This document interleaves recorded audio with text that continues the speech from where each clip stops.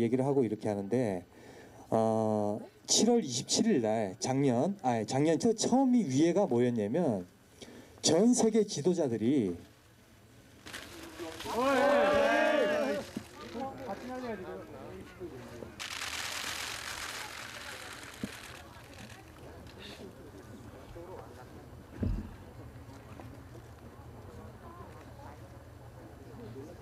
하고 있다. 여기서 보시면 어, 지금 하나님한테 받았대요.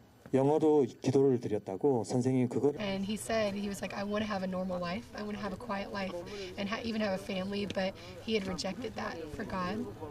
And uh, he had rejected that for what God had called him to do. So he was really worried about his parents. Like, he was really worried about how they would react. And he had told me to, like, call them and email them, but I had forgotten. Um, he was kind of excited. He wasn't nervous. He wasn't afraid. Like, he, if God tells him to do something, he's bold and he'll just do it. So, um, yeah, he was ready to go. Like, we had met. 이것도 로버트 박의 생각이냐고 누가 말씀을 하시더라고요.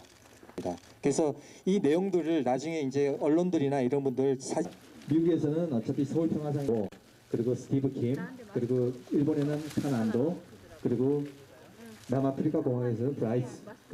These leaflets have been sent to North Korea before angering Pyongyang.